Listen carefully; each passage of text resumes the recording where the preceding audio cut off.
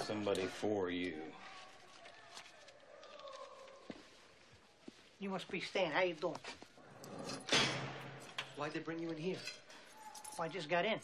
I asked where the new guys were, and they brought me right in. Hey, sleeping, huh? Cute little guy. You know, maybe I just start with you. I'll let him sleep a little bit. I don't want to do this. Hey, I don't blame you. If I was in your situation, I'd want to get through this whole thing as quickly and with as little pain as possible. So, you know, let's try our best to make it a simple in and out procedure. What's the matter?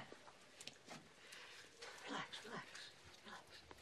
You know, maybe we should spend a couple of minutes together, you know, to get acquainted before we, uh, you know, before we get to it. What's wrong with you? I don't want to do this. But I understand, but you know, what are your alternatives? My alternatives? Yeah. To what? To you? I don't know. Suicide? Death? Look, it's either me or them. You're getting fucked one way or the other. hey, hey, hey. Lighten up, okay? Don't worry, I'm gonna help you. Gee, thanks. Excuse me, but I think a modicum of gratitude would not be out of line here.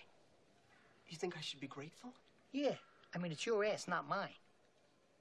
I think you should be grateful. I think you should be down on your fucking knees. Well, I'm sorry. I didn't know it was such an honor to get a visit from you. Hey, I'm doing a favor here, you know.